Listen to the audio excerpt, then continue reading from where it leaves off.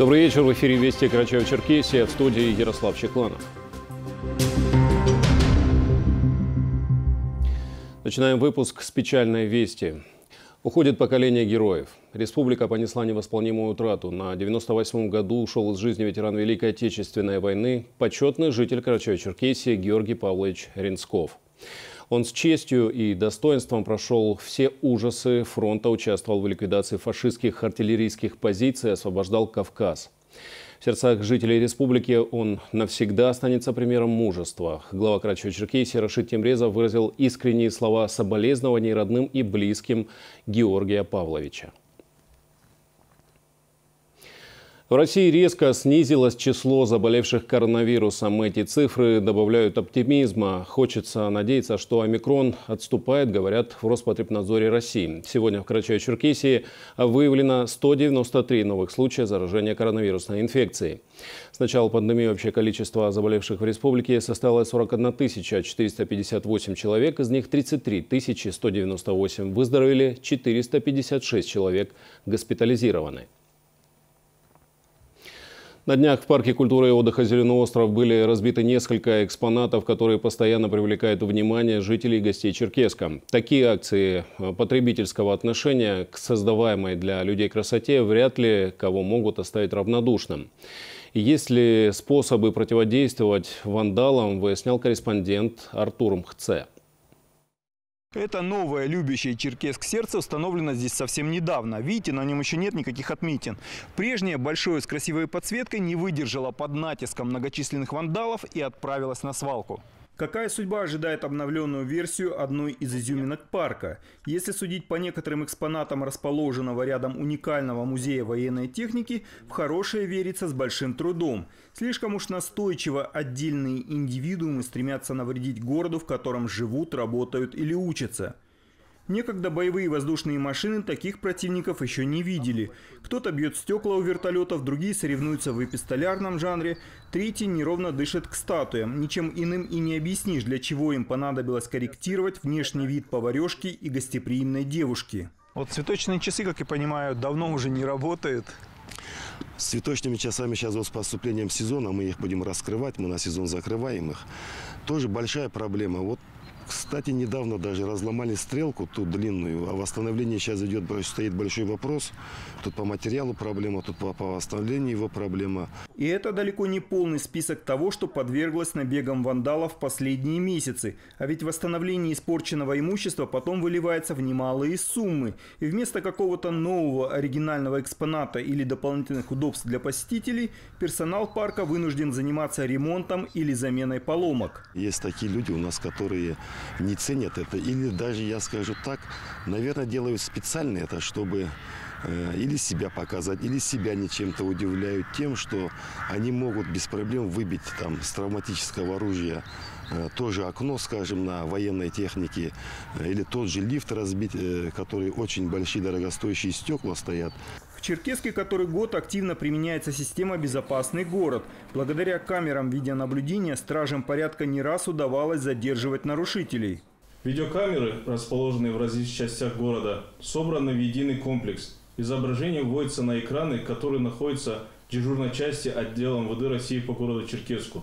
Система оборудована возможностью записи и при необходимости мы можем использовать видео для выяснения обстоятельств того или иного происшествия. Понятно, что далеко не каждому человеку нравится, когда за ним подглядывают, но придется привыкать, раз у нас это единственный способ, чтобы выявить тех, кто не может спокойно пройти мимо создаваемой красоты.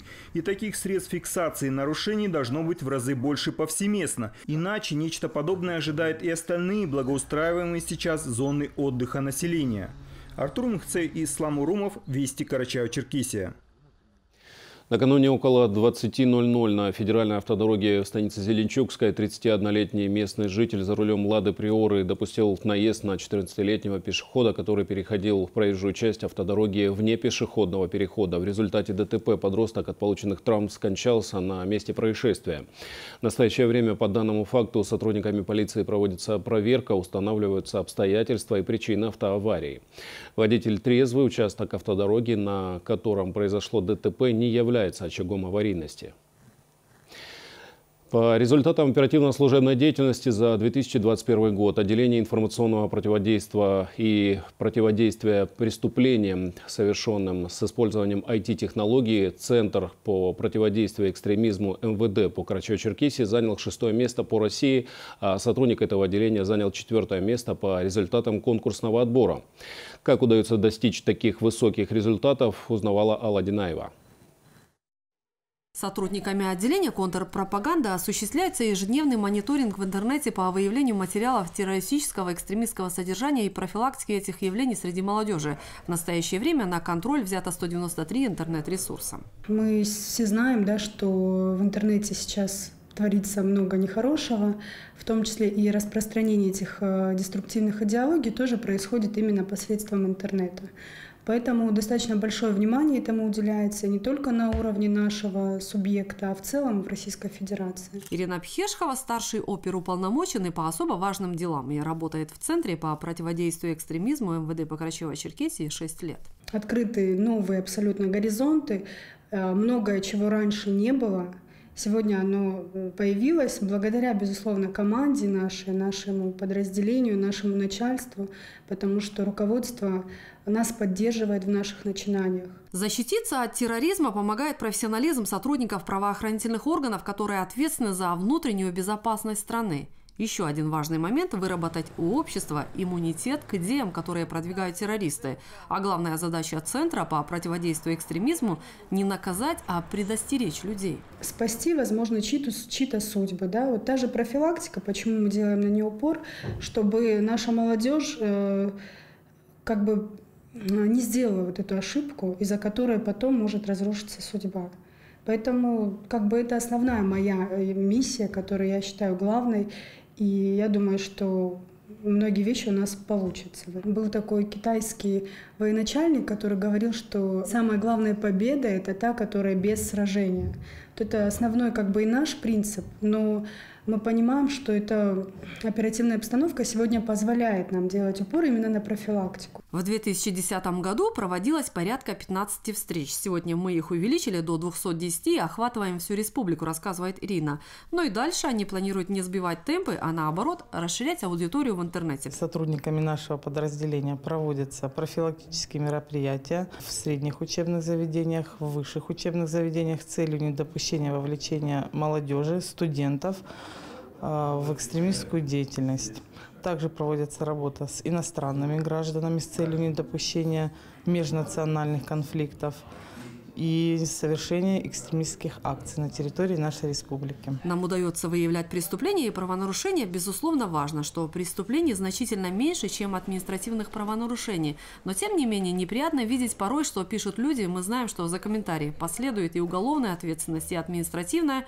Мы за всем этим наблюдаем, мониторим, выявляем. Но если сравнивать с соседними субъектами, у нас количество преступлений значительно меньше, что не может не радовать, говорит Ирина Пхешкова. Алла Динаева, Али Бастанов, Вести, Карачева-Черкесия. ОФСИН России по Карачаево-Черкесии сообщает, что в ряде СМИ размещена информация о том, что в СИЗО-1 начались беспорядки, в которых приняли участие 200 подозреваемых, обвиняемых и осужденных. Данная информация не соответствует действительности. 17 февраля 2022 года в следственном изоляторе номер один ОФСИН России по Карачаево-Черкесии при проведении обыска 21 подозреваемый и обвиняемый в совершении тяжких и особо тяжких преступлений, связанных с убийствами, грабежами, разбоями, вымогательствами, изнасилованиями, оказали сопротивление администрации учреждения при проведении планового обыска. Свои действия подозреваемые и обвиняемые сопровождали сопровождали криками и нецензурной бранью в адрес сотрудников. На место происшествия прибыло руководство УФСИН, сотрудники аппарата управления. О происшествии было незамедлительно сообщено в прокуратуру. Материалы для дачи правовой оценки действий подозреваемых и обвиняемых зарегистрированы и направлены в соответствующие органы. В настоящее время учреждение работает в штатном режиме. Сейчас время прогноза погоды, а после мы продолжим выпуск.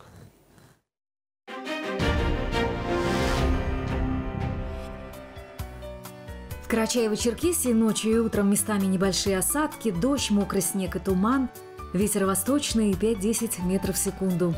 Температура ночью минус 3 плюс 2, в горах до 8 градусов мороза, а днем до 15 выше нуля. В горах местами плюс 2, плюс 7, ночью на дорогах местами гололедица. В Черкеске ночью слабый дождь, мокрый снег, туман, днем без существенных осадков. Ветер восточный 5-10 метров в секунду. Температура ночью минус 1 плюс 1, днем 12-14 градусов выше нуля.